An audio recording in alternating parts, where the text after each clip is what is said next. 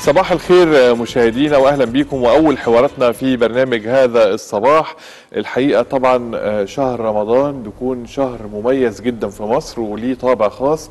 الشوارع في مصر بيكون ليها شكل خاص من خلال زينة رمضان اللي بتكون موجودة في كل الشوارع من خلال طبعا فانوس رمضان اللي بيزين كل البيوت في مصر ويمكن بيكون علامة من علامات رمضان في مصر وموجود طبعا بأشكال مختلفة وموجود على البيوت من الخارج وموجود في الشوارع وموجود في كل مكان الحقيقة الفانوس وممكن يكون عنصر من عناصر الجذب السياحي لاخواننا العرب اللي بيجوا يزوروا مصر بيكونوا عايزين يشوفوا ويتعرفوا أكتر على شكل الفانوس وعلى ثقافة الاحتفال برمضان في مصر. أيضا طبعا في أماكن بتكون فيها سهرات جميلة جدا في شهر رمضان ومن خلال خيم رمضان ومن خلال أيضا أماكن تاريخية وأثرية يعني بيجي لها السياح العرب زي مثلا الحسين وغيره من الأماكن.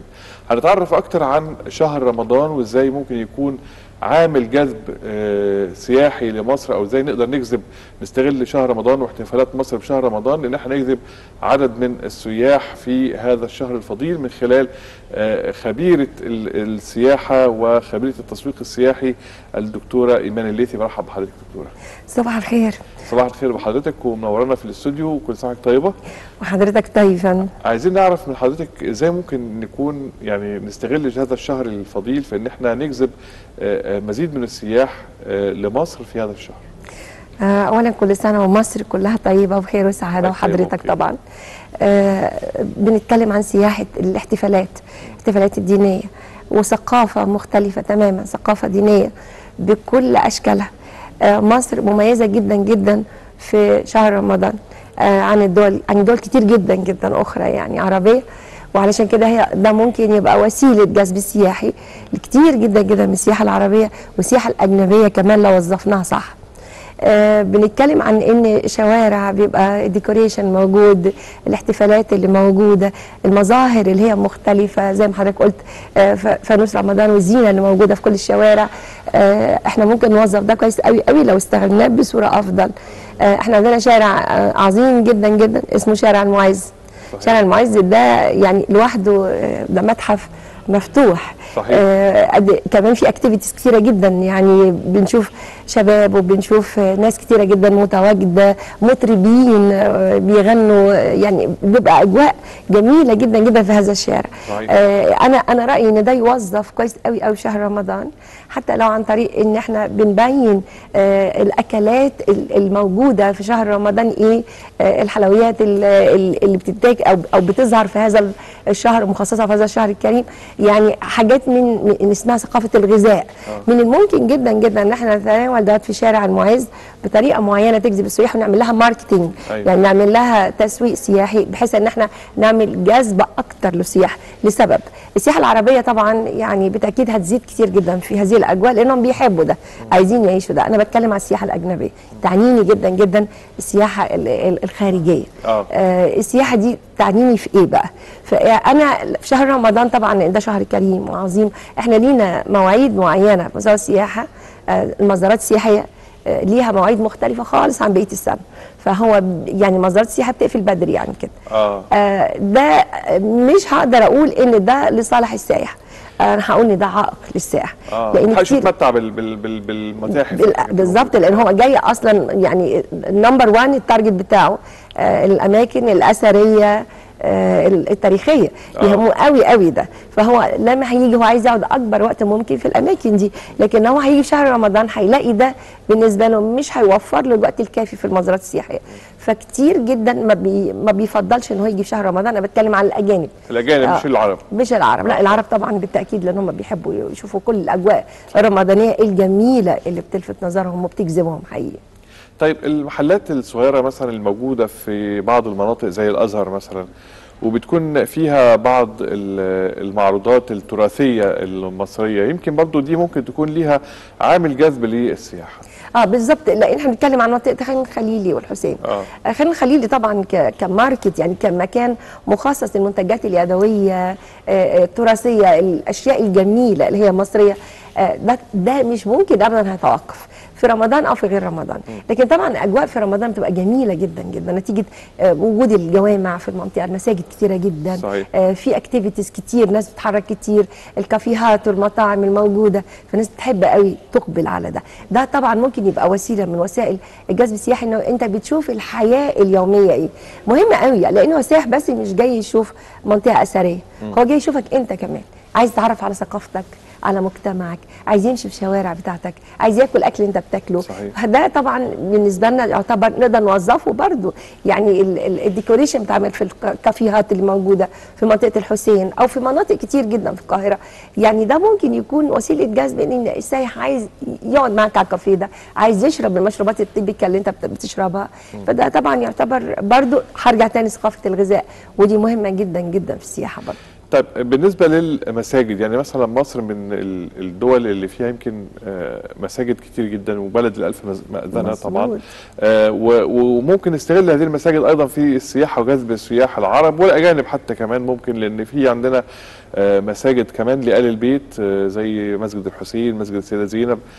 كل هذه المساجد كيف يمكن أيضا استغلالها في جذب المزيد من السياح آه، يعني هن- هنتكلم عن السياحة العربية ممكن جدا نعم. يكون موظف لكن بالنسبة للسياحة الأجنبية أنت معظم ال- الزيارات بتتعمل لجامع معين هو آه، القلعة طبعا إحنا بنتكلم على جامع محمد علي آه، ده هو أكتر مزار الأزهر آه. ممكن جدا نوظف الأزهر في الموضوع ده لأنه قريب جدا من منطقة آه، خان الخليلي آه. يعني اللي بيقبل عليها كتير جدا من السياح لكن طبعا أقدر أعمل مثلا برزنتيشن بشكل معين آه، أساعد ان يبقى في آه، تور جديد مختلف وتقبل عليه آه، السياح وتتعلم إيه هو شهر رمضان واهميته إيه بالنسبة لنا بطريقة جذابة جدا جدا يعني. ونتكلم عن. تاريخ هذا الشهر آه، إيه إيه العادات والتقاليد اللي. دايما بنبقى بنلاقيها في هذا الشهر أنا أتمنى إن إحنا نقدر نوظف الأزهر آه، كمان في إن هو يبقى في إقبال أكتر لزياره الأجانب لهذا الجامع العظيم وان إحنا نعمل آه، يعني معلومات كتيرة جدا عن هذا الشهر الفضيل وأهميته إيه بالنسبة للمسلمين. طيب اتكلمنا إحنا عن المحلات اللي موجودة في المناطق دي زي اللي في موجودة في الأزهر مثلا وبتبيع آه، يعني منتجات يدوية. منتجات يدوية وحاجات نحاسية وغيرها. آه، فكرة إن إحنا آه، ممكن مثلا نستغل وجود الصناع اللي هم ال- ال- اللي بيصنعوا الحاجات دي بشكل يدوي ساعات بيبقوا قاعدين قدام المحل بتاعهم بيعملوا بيشتغلوا حاجات. بيشتغلوا الحاجات دي. ممكن تجذب آه، قوي. يعني آه. فعلا ده, ده شيء جميل لأن أنت بد... اللي أنت بتصدر دلوقتي صورة إيجابية جدا. أنت إيه ال... ال- المهن بتاعتك؟ إيه هي ال handmade ال crafts اللي أنت بتعملها؟ ده شيء جميل. وده بدأ يعني للأسف يعني يقل جدا على مستوى العالم. طبعا دلوقتي المنتجات كلها بقت كلها عن طريق مكن ولا صحيح. السايح عايز يشوف ده. وفعلا أنا بشوف ده في شارع المعز وبشوف ده في خان الخليلي ومنطقة الأزهر. نوظف ده أكتر يعني يعني نوفر ده بصورة أكبر. أيوة. ما يبقاش واحد بس اللي قاعد بيعمل كده. خلينا في كل المنتجات مش بس المنتجات النحاسية. أنت لو هتشتغل في منتجات جلدية اعمل ده قدامه ووري له قد إيه أنت بتعمل ده handmade ففي كتير جدا جدا من السياح بتفضل إنها تشتري أي حاجة معمولة يدوي لأنها أفضل كتير حقيقي يعني. ففعلا ممكن جدا وفي نعمل ده كمان يا دكتورة مثلا السجاد كمان يعني عندنا برضو في سجاد صناعه السجاد وفي محلات اللي بتبيع السجاد. آه، السجاد برضو بيبقى عليه نقوشات وحاجات ممكن بتكون معبرة أكتر عن التراث المصري. حقيقة. إحنا منطقة السجاد تحديدا هي منطقة سقارة. يعني سقارة والطريق ليها كلها فيها مدارس آه، اللي السجاد بيقوم بالعمل فيها الأطفال. من صغرهم اللي هم عندهم تالنت هم تالنتد آه. وطبعا الدولة بتهتم جدا جدا بيهم. لكن آه، في منطقة خان الخليلي ده موجود بس مش بصورة كبيرة. لكن من الممكن برضه يطرح دوت آه، في في منطقة الحسين في منطقة خان الخليلي ونعرض إن إحنا عندنا منتجات وتنافس. يعني أنت ممكن تنافس تركيا وتنافس المغرب وتنافس إيران. لأن أنت بالفعل مش أقل منهم. أنت بتعمل منتجات أفضل بكتير جدا منهم وسعرا أفضل كتير جدا منهم. فده أنا بشوف إن طب برضه ده شيء من المنتجات الهائله اللي ممكن تكون وسيلة جذب للسياح كأنها وسيلة مختلفة. تمام دايما طبعا في شهر رمضان بيكتر الكلام عن ال- الأكل والأكلات المختلفة اللي بيتم تقديمها وبيتفنن يمكن ال- ال- ال- المصريين بيتفننوا في شكل الأكل اللي بيقدموه. حقيقي. آه الأكل بتاعنا إحنا هل ممكن برضو الأكل ده يكون عامل جذب إن الناس تتعرف على الثقافة بتاعتنا من خلال الأكل بتاعنا؟ أكيد. آه. أنا عايزة أقول لك إن في آه، مجموعة من السياح أو في آه، يعني طبقة معينة من من السياح بتسافر علشان تتعرف على ثقافة الغذاء فقط لا غير. أوكي. يعني ده فعلا بدأ ينتشر في دول كتيرة جدا جدا. وبيصدر ده لبره. يعني لما بيعمل فيديو عن دوت أو آه، عن طريقة آه، عن طريق التواصل الاجتماعي بيتكلم عن إن هو أكل إيه أنواع الأكلات اللي أكلها في مصر آه، فبيوري لك قد إيه مصر يعني مهتمة جدا جدا بالمطبخ المصري.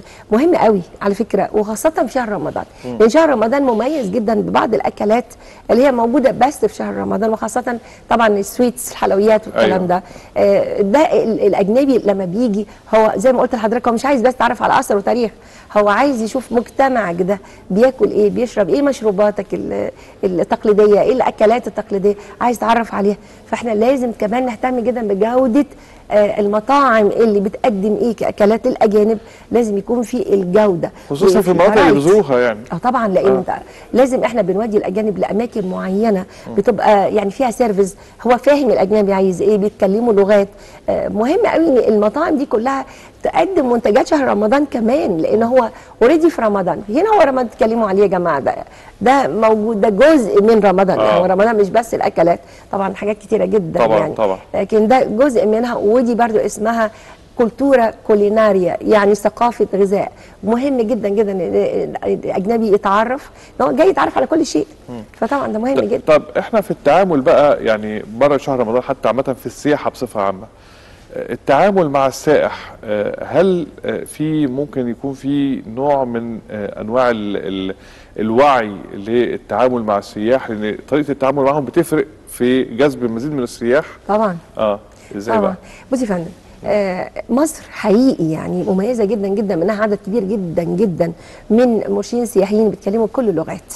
وإحنا عندنا facility الحمد لله إن المصري بيتكلم أكتر من لغة بطلاقة شديدة جدا جدا. فدايما ال communication ما بين السايح وما بين المصري بيبقى فيه سهولة جدا جدا. وخاصة إن شركات سياحة دايما بتهتم جدا بالكواليتي للجايد المرشد السياحي اللي هيقابل المجموعة واللي هيرافق المجموعة. فتلاقيه دايما موجود.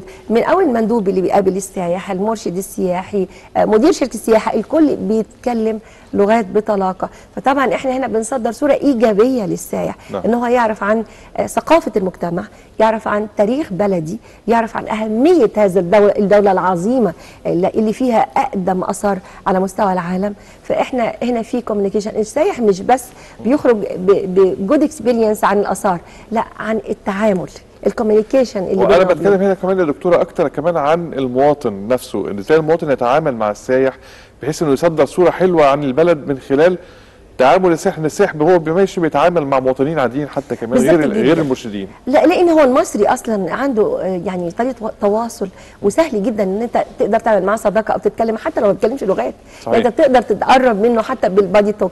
لكن بادي لانجوج يعني توك. أنا عايزة أقول لك على حاجة. آه، دايما بيخرج السائح ويقول أنا عجبني قوي قوي تعامل الناس معي. أنا حبيت الشعب المصري شعب كريم شعب مضياف شعب طيب. آه، مش مقفول على نفسه بالعكس شعب مبتسم طول الوقت. آه، ده شيء مهم جدا جدا. لا ده موجود. آه، طبعا أكيد في سلبيات بالتأكيد في سلبيات. السلبيات دي زي إن إحنا نقدر نتخلص منها عن طريق الكنترول. يعني لما يكون في ضبط وربط وقواعد في كل مكان في غرامة لو أي حد يعني تخطى حدوده مع سايح. ووعي كمان. آه ووعي طبعا. عن طريقكم أنتوا يعني التلفزيون أنتوا دوركم هام جدا جدا على فكرة. برامج اللي أنتوا بتعملوها التوعوية دي هامة جدا جدا ونزودها أكتر أكتر لأن السياحة بالنسبة لنا دي أهم مصدر دخل حقيقي. آه. مصدر يعني مباشر وغير مباشر. فإحنا لازم نهتم جدا بكل التفاصيل ومنها ناحية إن أنا أثقف الشعب المصري إزاي يتعامل مع السائح الشعب المصري آه حقيقي يعني لما بناخده نوديه أماكن آه أثرية هو عايز يتعلم وعايز يعرف. لو اهتمينا أكتر بالناحية دي هنلاقي نتيجة ممتازة جدا. نعلم الطفل ان هو في الصغر في المدارس في. المدارس بالظبط يكون في مادة معينة اسمها مادة السياحه توعية سياحية. كيف تتعامل مع السائح يعني واجباتك إيه و- وواجباته إيه ليك أنت كمان؟ لك صحيح. قوانين واضح لا في ضوابط؟ يعني حط ضبط وربط. كل شيء هيبقى في مكانه الصحيح حقيقي يعني. طيب دكتورة في أحيانا ومصر عملت الحكاية دي كتير أو حصلت معاها كتير في الفترة الأخيرة يجوا شخصيات مشهورة يجوا bloggers مثلا من ال social media مشهورين يجوا يتكلموا عن مصر أو يكونوا بيعملوا حاجة في مصر ويوثقوها هم من خلال زيارتهم لمصر حقيقي. وينشروا الصور دي. الموضوع ده هل بيكون ليه مردود كبير فعلا طبعاً. على السياحة؟ طبعا جدا. لأن هو كل حد من من المشاهير ليه followers يعني ليه ناس محبيه ودايما بيتابعوا أخباره إيه. آه تخيل لما يجي حد مشهور جدا جدا ويحط صور وفيديوهات إن هو في مصر في الأقصر وفي أسوان وفي كايرو آه في البحر الأحمر منطقة الغردقة أو شرم الشيخ وريفر ده مهم جدا بالنسبة لنا. ليه؟ لأن أنت دلوقتي بتصدر صورة إيجابية بلد أمان. البلد فيها آه، أماكن ومعالم سياحية جذابة جدا جدا بتجذب حتى أهم الناس وأشهر الناس. طبعا بس إحنا بقى لازم نوظف ده بان إحنا نعمل دعاية كافية لده. آه حد مشهور قوي بيجي حد مصمم أزياء مشهور بيعمل عرض أزياء في الهرم أو في سقار ليه ده ما يتوظفش بكل اللغات إن هو يتصدر لبره؟ إن أنا بعمل يعني دعاية. نستغله كدعاية بره كمان. آه طبعا. آه. أنا مش أنا أنا مش بس يهمني جوه مصر آه، جوه مصر دي سياحه داخليه أنا يهمني السايح اللي جاي من بره مصر. فأنا لما أبتدي إن أنا أوريه مين هنا ومين جه ومين مبسوط في المكان ده ومين ات- اتصور في المكان ده على فكرة كتير جدا جدا عن طريق التواصل الاجتماعي وسائل التواصل الاجتماعي بيبقى عايز يقلد ده. يعني أيوة. يجي أنا عايز أتصور في نفس المكان اللي صور فيه هذا آه، الشخص آه، المشهور مثلا آه. هذا الممثل العالمي. آه طبعا ده مهم جدا من خلال صوره اللي هو نشرها حتى على مثلا على الوسائل آه. عندك وسائل وسائل التواصل الاجتماعي دي إنستجرام الفيسبوك تويتر الحاجات دي كلها آه، وسائل جذب سياحي على فكرة. لأن دي ممكن توظف لك أو تساعدك كتير جدا في ان انت يبقى عندك أكتر عدد ممكن من السياح لو اشتغلتها صح صحيح. لو وظفتها صح. أنا الحقيقة بشكر حضرتك شكرا جزيلا دكتورة إيمان الليثي خبيرة التسويق السياحي على يعني هذه المعلومات وبنتمنى دايما إن مصر تجذب المزيد من السياح لأن ده كله فيه خير لينا ولبلدنا إن شاء الله. وشكرا ليك يا دكتورة. تحياتي شكرا لحضرتك. ومشاهدينا هذا الصباح مستمر معكم بعد الفاصل.